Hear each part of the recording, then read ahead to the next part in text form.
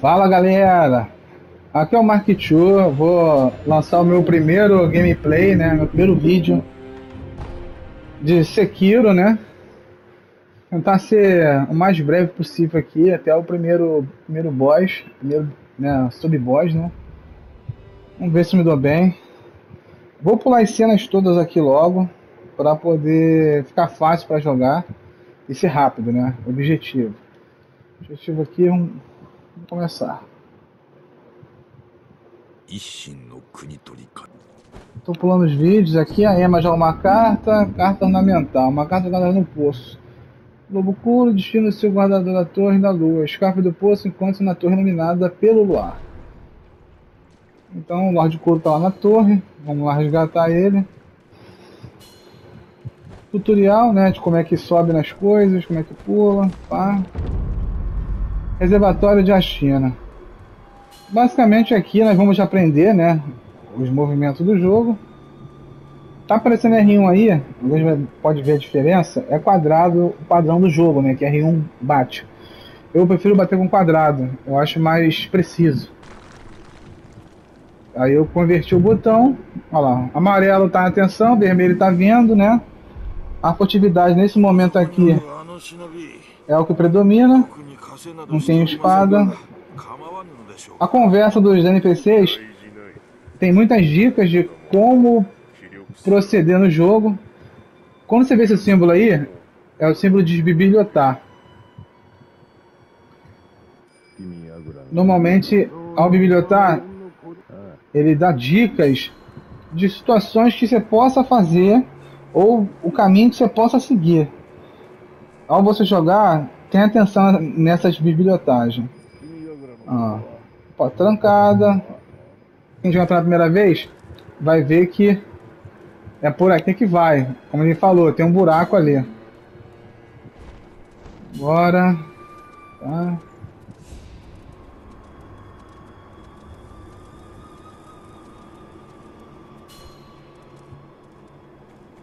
Basicamente é tutorial. Isso daqui é tutorial.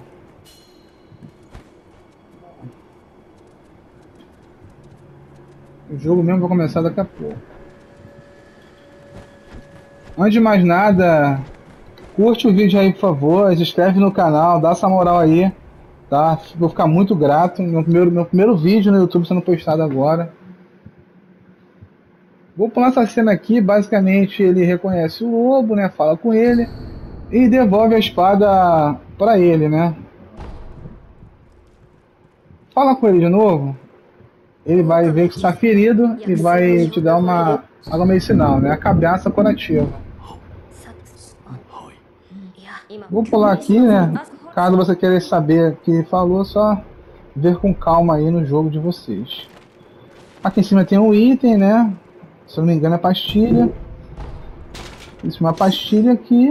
Essa pastilha é importantíssimo porque às vezes o seu sangue está pela metade, ele vai regenerando com o tempo. Então você vai até você chegar a algum, algum inimigo, né? O seu sangue está mais regenerado. Eu vou pular aqui, porque essa área agora é uma área que tem bastante inimigos. E vai ter tipo, tipo um subchefe ali. Ele não é tão difícil não. Mas se der mole você morre. Mas é bom para começar com a barra de sangue já cheia e mais um cabaça. Aqui é a parte do equipamento, né? Tá explicando. Aqui é o item rápido, vou botar a cabaça. Vou colocar a pastilha. Tá? Pode botar mais itens aqui. Aqui é o inventário, é o que você tem do, do, do regresso. Vamos começar.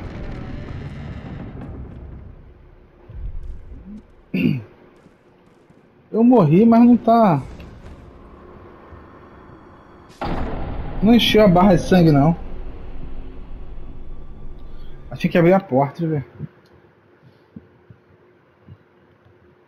Pelo menos funcionava isso aí no... Ah, funcionou. O sangue encheu. Aqui ele faz só postura de golpes mortais, né? Postura de golpes mortais. Basicamente tem duas formas de golpe mortal. Tem no combate, corpo a corpo, e tem na furtividade. Exemplo, furtividade, ó. Ficou vermelho, golpe mortal. E agora no combate. Ao defender, quebrei a defesa dele. A postura, né? Chama de postura. Repelir, né? Tipo um parry, né?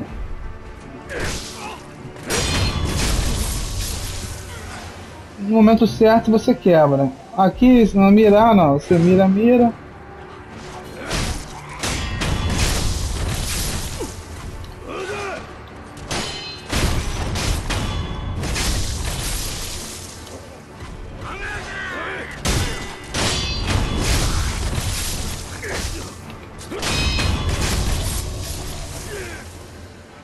Agora, um subchefe agora, pra ficar bonito.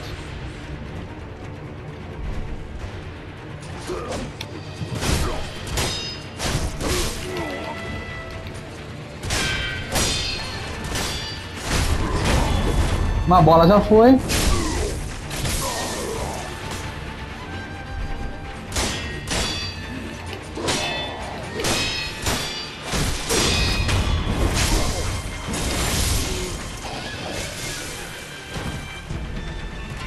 Ganhamos uma pastilhazinha. Pra cá. Aqui tem um item. Punhado de cinza. Isso é legal pra jogar na cara dos, dos bandidos. Eles ficam meio cegos, você mete a porrada neles. Aqui tem essas manchas na... Que indica que dá pra subir, agarrar. Ó, bisbilhotar.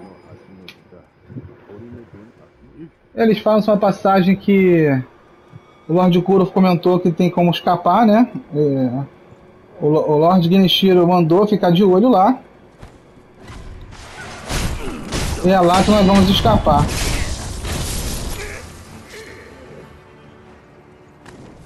Na beira, apertou o botão de ação, né? No caso aqui é R1. Soltou. Mais um item, mais uma pastilha. Interessante.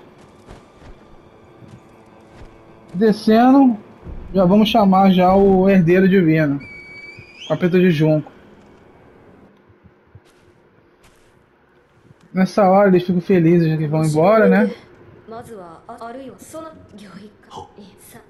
Até o momento eles acreditam que vão escapar. Mas o que vai acontecer agora Olha lá que tá esperando a gente, ó. Genichiro. Essa luta aqui basicamente tem que morrer, né? Você pode só prolongar mais a luta. Se tu for muito hábil, tu pode ir até o final, mas no fim você vai morrer do mesmo jeito. Eu vou tentar aqui, o máximo que der aqui. Mas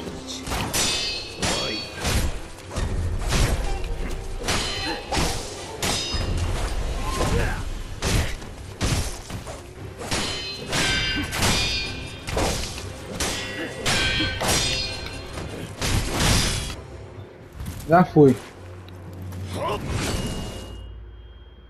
Cara, decepou o braço dele, mano.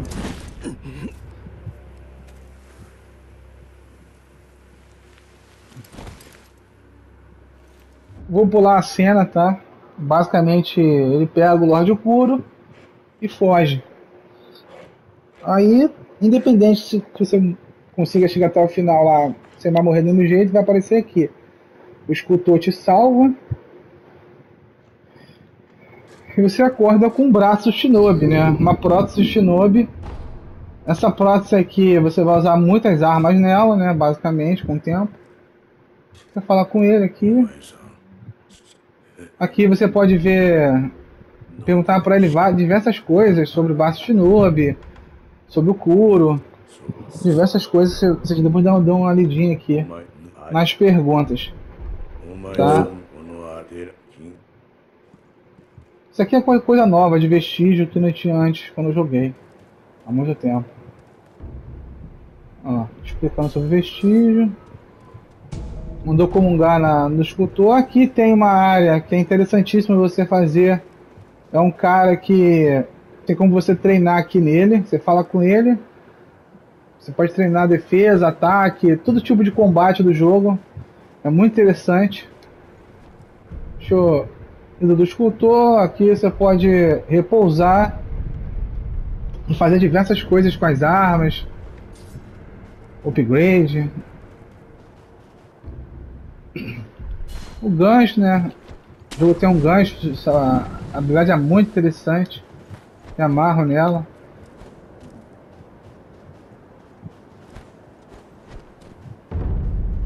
Cercanias de Achina. Mais um ídolo do escultor aqui pra gente comungar. Pronto. Agora nós podemos viajar para cá quando quiser. Vou começar aqui pelo alto. É interessante açúcar de ungo. Açúcar de ungo, se eu não me engano, ela é um confeito preparado para a benção, reduz temporariamente o dano de vitalidade recebido de ataques físicos. Então, basicamente, você usando isso aqui, recebe menos dano. Tá? Vamos tentar esse carinha aqui.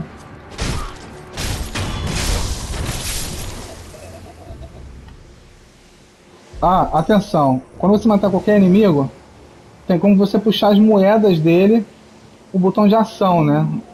Então, sempre quando você matar alguém, usa o botão de ação para poder sugar as coisas de, utilização. Ó, vou sugar, ó, as moedas, fragmento de cerâmica, fragmento de cerâmica.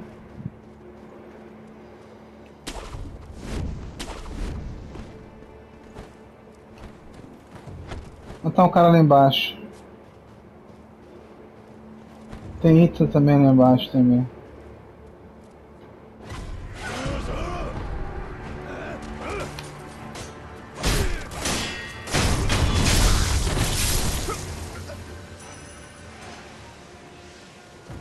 Mais um item aqui.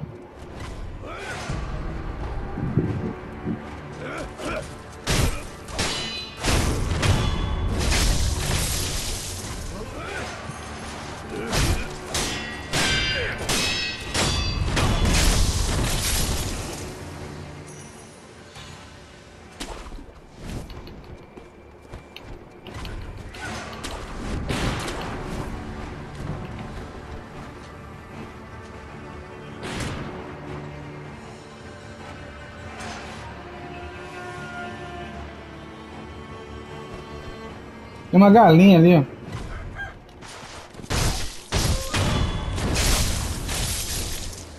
Tem uma galinha. Eu vim pra cá que eu sem querer chamei a atenção dos caras ali. E vai me atrapalhar. Tem um atirador chato pra caramba ali. É, aqui, vem aqui de cima. Dá um aéreo. Usa sempre o botão. Vamos na marra mesmo.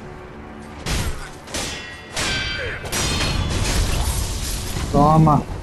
Mais pastilha.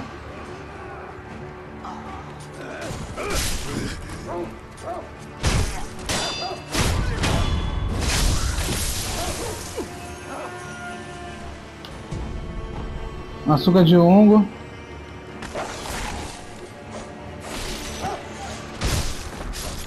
Cachorrinha, um golpe tu mata. Tem uma coisa pra cá? Não.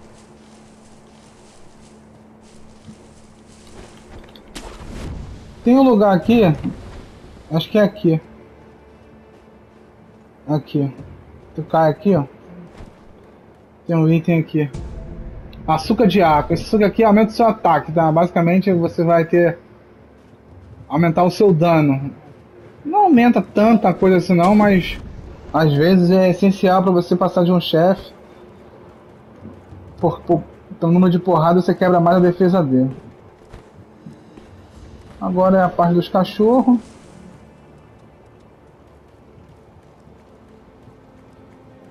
Não tem nada aqui.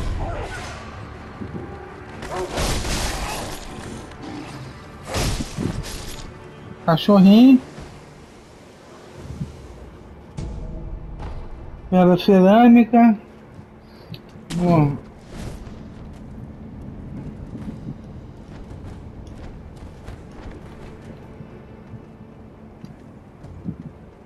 Aqui tem o item Shinobi, ó. Roda de Shuriken.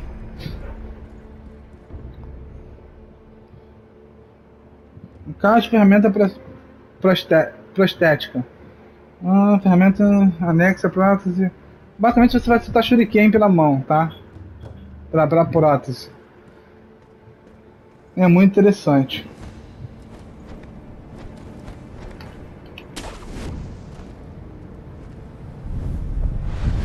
Vou dar um, uma repousada aqui para encher o sangue. Nós vamos enfrentar agora o, o primeiro o primeiro sub-boss, né? Eu chamo de sub-boss porque é difícil, mas ainda não é o chefe. Esse aqui, esse sub esse sub-boss, né, que eu chamo de sub-boss, eles dão conta de oração. Essas contas de oração, elas são importantes para platina, são 40 no total. Elas são encontradas matando sub-boss, né? Escondidas no pelo mapa, tem alguns baús secretos e matando sub-boy, né? Normalmente são um pouco mais difíceis, mas nada que é impossível. Muitos sub-boys consegue tirar uma barra de vida dele na, na furtividade. E é interessante, porque realmente às vezes é complicado de matar ele. Deixa eu só equipar a pastilha. Se eu não conseguir matar ele, eu ter que usar, que é difícil. Ataques perigosos. Quando aparecer um Kandi, tem que fazer algumas coisas.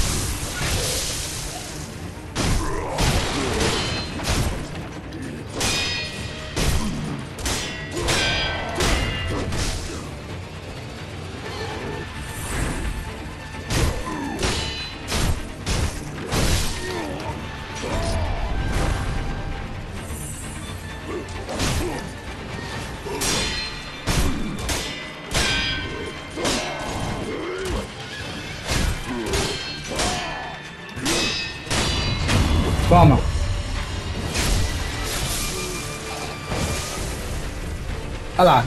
Conta a geração. Conta a geração avulsa, oferta 4 delas quando ele discutou para você aumentar a vitalidade máxima e a postura. Semente de cabaço. Sementes foi água curativas. Dê a Ema para aumentar o número máximo de suas cabaças curativas. Ah, ganha dinheiro e dois itens. Então, basicamente aqui nós conseguimos já para o Shinobi. Eu acho que é interessante já encerrar por aqui. Vamos lá no do escultor antes de encerrar para mostrar para vocês como é que funciona, tá? Vamos lá. Nós vamos comungar, ó. Repousar. Vamos viajar lá para Tempo de Lapidado. Já vamos encerrar já o episódio já, o primeiro, né? Tudo certo. Cercaneas de China. Ao chegar aqui, essa mulher aqui não estava aqui, né? É, é Emma. O nome dela é Emma. Vamos falar com ela.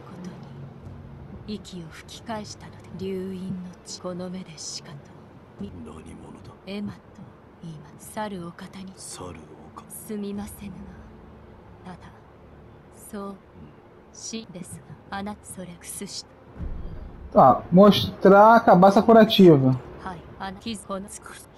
Ela diga que fez pulão de curo e o curo me deu, né? As, aquelas sementes que nós pegamos lá do subchefe, vamos entregar para ela. Olha lá, usar semente. Nós tínhamos uma cabaça curativa. Agora nós teremos duas cabaças curativas. Podemos usar duas vezes. Podemos falar com ela sobre a história do ar de curo, né? Então, toda vez que nós pegamos uma semente, tem que vir nela aqui para poder entregar e ampliar a cabaça. Aqui.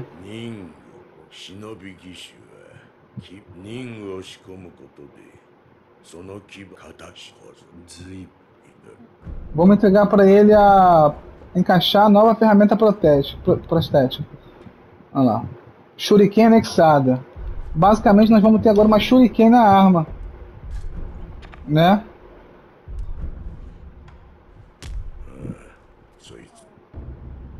Olha lá. Ferramenta protética, ferramenta de nome dedicado, Pode ser equipado em equipar, utilizar brasões espirituais. Os brasões espirituais agora vão começar a aparecer. Né? Ali, tipo uma, um papelzinho ali, zero. Vai começar agora a ter brasões espirituais, ó. Que é para você poder usar as coisas da ferramenta. Você pode usar, ó, shuriken anexado. Ó, shuriken. Joga uma shuriken. Então é isso, galera. Vou encerrar o primeiro episódio por aqui. Tá? Espero vocês no próximo episódio. Né? Vamos continuar lá. Nós, nós paramos após matar o primeiro subchefe. Fiquem com Deus. Beijo no coração de todos e até breve. Valeu, galera. Forte abraço. Fui!